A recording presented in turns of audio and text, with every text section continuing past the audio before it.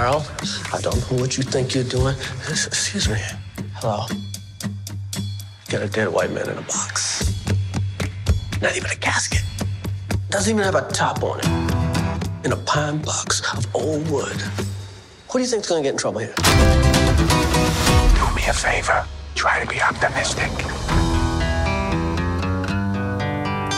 You don't get here without things starting a long time ago. So, two soldiers and a nurse found ourselves in Amsterdam.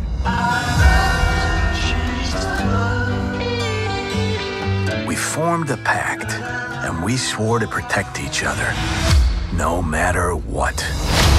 Tax the rich, We find ourselves in a situation where we're accused of killing someone, which is not true. Rich. You and Woodman fled the scene. The killer pointed at us. We didn't do anything.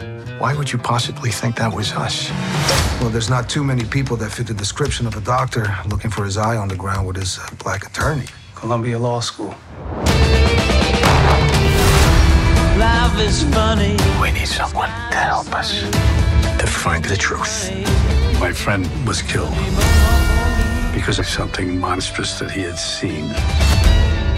This is all turning out to be a lot larger than any of us. You're gonna have to take my lead getting out of this. I had to stab a guy. I had to hit a lady with a brick one time. What? It's a long story, but with you two, it'll be a cakewalk. These are dangerous times. You be careful. I'm about to do something that could cost me my life. The cuckoo is in the nest, and the cuckoo's about to be trapped. Cuckoo?